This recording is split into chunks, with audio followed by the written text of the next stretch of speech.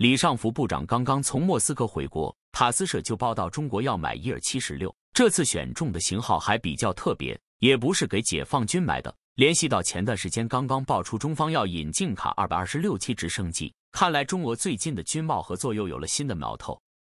根据塔斯社的说法，俄罗斯紧急情况部部长亚历山大库伦科夫公布了中方购买伊尔七十六的消息。中方购买伊尔七十六这种运输机和俄罗斯紧急情况部又有什么关系？这次的关系还真不小，因为要购买伊尔七十六的单位是中国应急管理部，而购买的型号就是伊尔七十六的消防型号。俄罗斯紧急情况部作为伊尔七十六消防飞机运营数量最多、年头最长、经验最丰富的单位，自然要牵头办这个事。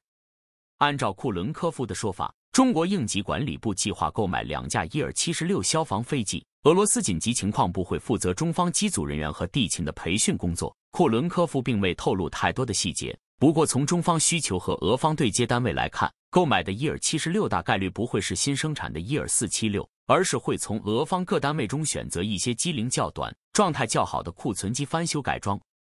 甚至有可能。直接从紧急情况部手中接收两架状态不错的伊尔七十六过来。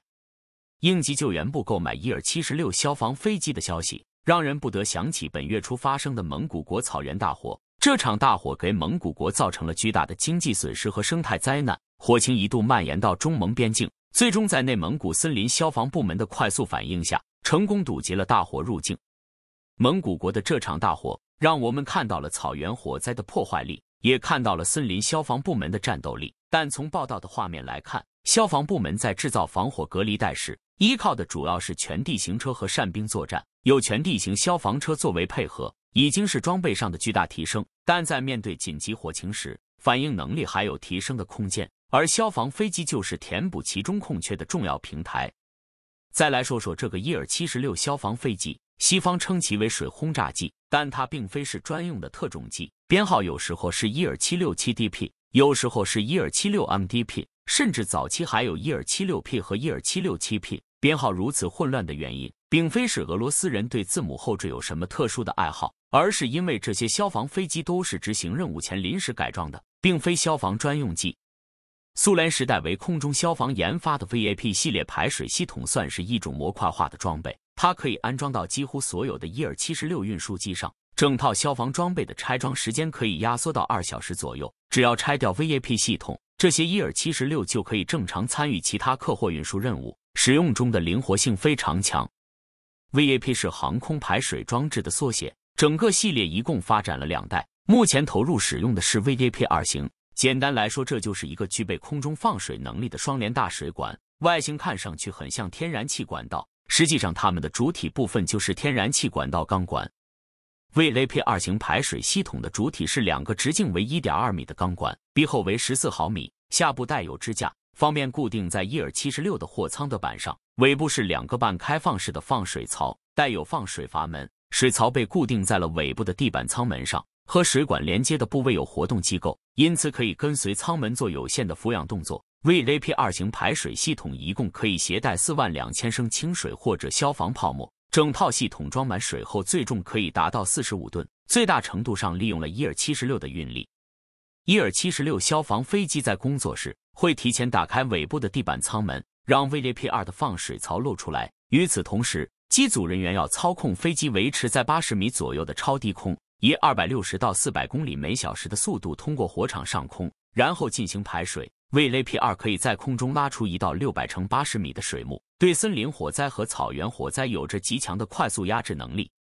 看了这些描述，可能有些朋友会比较迷惑：如果只需要空中消防能力，那么为什么不直接购买 VAP 二放水系统，然后利用 U 二十这类平台自己改装呢？这个问题其实不难回答。目前中国空军正处于远程投送能力爆发式增长的阶段，对于战略运输机和空中加油机的需求极大，未来还需要 U 二十平台的预警机和特种飞机。空军此前购买的伊尔七六 MD 和伊尔七六七 D 都承担着重要的运输任务，运二零 A 也是如此。即便运二十 B 已经投产，短时间内也抽不出产能来满足应急管理部消防飞机的需求。这时候从俄罗斯引进两架伊尔七十六改装成消防飞机，是时间周期最短、成本最低的方案。从俄罗斯购买军机，同时还能促进中俄之间的军贸交流与合作，算是两全其美的办法。这一次围绕伊尔七十六消防飞机的合作，也点出了一个新的思路：中俄之间的军贸其实并非要集中在那些主战装备上，甚至不需要集中在军队领域。我国的应急管理部也是参考了俄罗斯紧急情况部的构架和职能进行整合创立，而后者恰恰是一支准军事化队伍。在应急救援部的装备配置上，中方也能找俄方取取经，在这之间的合作也算是军贸合作的一部分。中俄之间的军工贸易可以追溯到很久之前，中国军工的发展历程从一无所有到在全球范围内名列前茅，经历过太多坎坷。而在这个过程中，一些其他国家的帮助必不可少，比如曾经的苏联给过我们整整六十个师的装备，后来的乌克兰不但把瓦良格号卖给我们，还给了我们不少技术。除此之外，对我们帮助最大的就是俄罗斯。